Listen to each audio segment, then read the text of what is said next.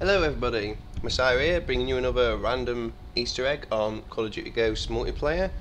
Today we're on the map Warhawk, flying around in spectator mode, and we are going to be heading towards this big water tower with the Warhawk symbol on it, as you can see. Now, go around the back of it, we have a nice little gnome, randomly sat on there.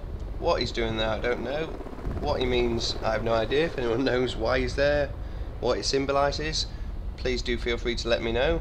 But for now, I'm just showing you he's up here. A lot of people thought that this was going to be replacements to the teddy bears, but that's obviously been proved wrong now. We've found teddy bears, but there it is anyway. Pointless, I know, but hey, thanks for watching everyone. I'll see you in the next video.